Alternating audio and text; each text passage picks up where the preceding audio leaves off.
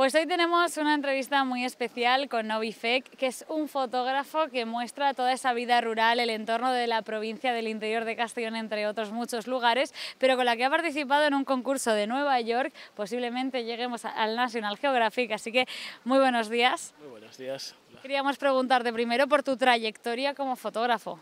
Pues la verdad es que empecé aficionado a la fotografía, que empecé solo con el teléfono, hasta que la familia me regalado una cámara por día de cumpleaños y ahí continuó pues recorriendo el pueblo, las calles, con mi cámara todo contento, como un niño que le regalas un juguete y ahí voy pues, aficionado tanto con la fotografía que un día un amigo me llamó y me dijo, tú, oye, ¿por qué no participas en un concurso que aquí hay en Nueva York? Y le ostras, yo no sé inglés ni nada y dije, tú tranquilo, participa y ya está y veremos. Y yo le he participado y después me avisan, me tus fotos ya han sido exposados en una galería aquí en Nueva York, así que te doy la enhorabuena, aquí está el nombre del concurso, el nombre de la galería y tú puedes mirar. Y dice, igual desde ahí están intentando que los llevan a National Geographic, ahí sí que no sé yo, pero esperamos que sí.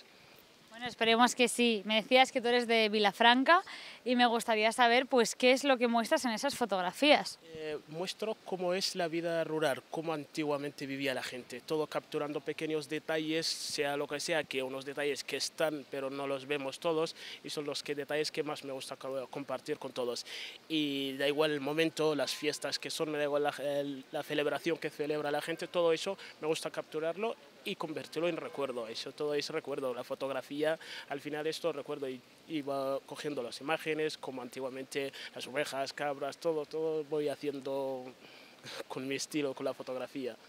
Podemos decir que te basas en esas profesiones eh, pues, más ancestrales, como puede ser la ganadería. Sí, sí, sí, es que lo casi entró a todo. Justamente esta semana estaba haciendo un reportaje de transhumanza que pasaba por el pueblo y la verdad que ha gustado. Por eso yo digo a todo, me meto con todo lo que es vida rural. ¿Y cuáles son esos rincones de la provincia de Castellón que han llegado a esa galería de Nueva York? Ha llegado Villafranca, Ares, toda la, la, zona del sport, digamos, todo el sport, maestrazgo. Sí, sí.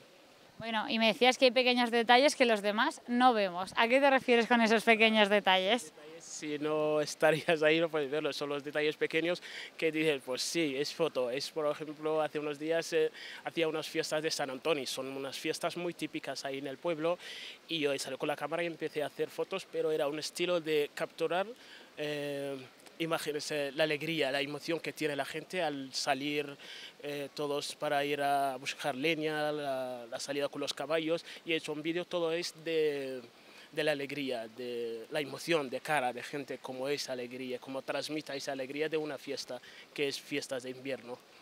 La verdad que es muy interesante. ¿Y en tu tiempo libre sigues viajando por zonas de interior?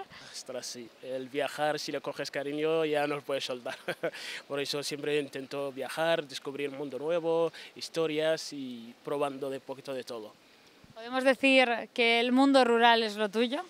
Sí, sí, sí, sí que es lo mío. el mundo rural es lo que más mío y el que más me gusta y es lo que más la gente está abandonando y es por eso me gusta compartirlo todos los días, casi un poquito todos los días a Instagram, Facebook, subiendo algún un pequeñito detalle.